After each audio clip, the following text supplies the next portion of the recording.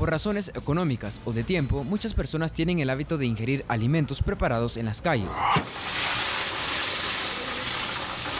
Rosa Alvarado lleva más de 20 años ofreciendo diferentes platillos, entre ellos las papas fritas. Explicó algunas de las medidas higiénicas que pone en práctica en su negocio.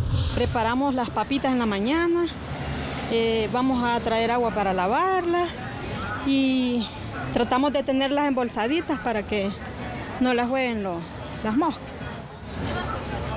¿Siempre mantienen, digamos, la higiene con las manos, con los objetos que van a utilizar? Sí, Ahí tenemos agua para lavarnos las manos. Pero no todos los comerciantes tienen estas prácticas. Patricia Pineda mencionó que ya se ha visto afectada por esa razón. El motivo de que no compro en la calle es porque yo me enfermo de mucho del estómago. Entonces este, el doctor me prohibió porque agarré unas bacterias y me costó, eh, me costó curarme.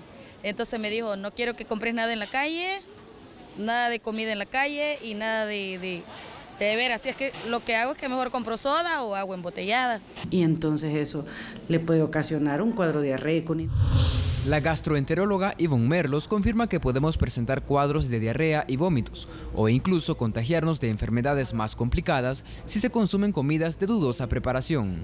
Tenemos brotes de rotavirus, estamos viendo casos de fiebre tifoidea y también otro tipo de enfermedades bacterianas, virales, parásitos como las colitis por amibas, eh, por yardiasis, que son transmitidas por una transmisión, nosotros le llamamos en medicina fecal oral, es decir, que aunque suene feo, pero estamos consumiendo heces de una persona que no se lavó bien las manos al momento de preparar el refresco que nos estamos comiendo o la minuta.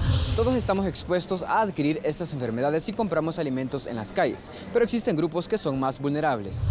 Los niños y adultos mayores son los más propensos, por lo que si presentan síntomas, es necesario la atención médica. Es importante no automedicarse y más a los niños. Por favor, no les den medicamentos que son de venta libre en las farmacias o en las tiendas, porque lo más peligroso en los niños es la deshidratación.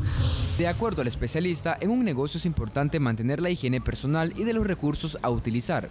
Asimismo, es necesario cubrir los alimentos para evitar el contacto con moscas u otros contaminantes. Para el noticiero, Jonathan Vázquez.